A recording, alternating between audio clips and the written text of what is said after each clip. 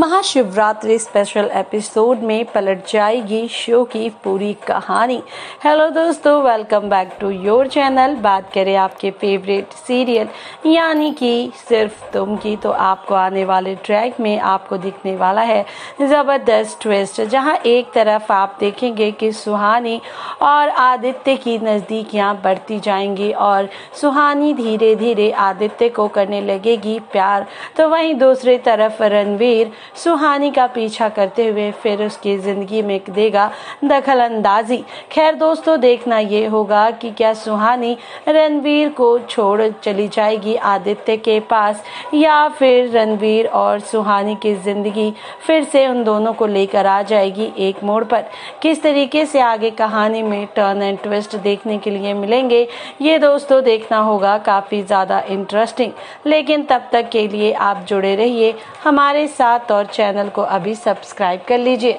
ताकि latest update सबसे पहले आप तक पहुँचे और आप अपने फेवरेट सीरियल सिर्फ़ तुम के साथ जुड़ी हर लेटेस्ट अपडेट को सबसे पहले जान सके एंड चैनल को सब्सक्राइब करके बेल आइकन का बटन प्रेस करना बिल्कुल ना भी भूलें ताकि नोटिफिकेशन के ज़रिए सबसे पहले जानकारी आप तक पहुँचे।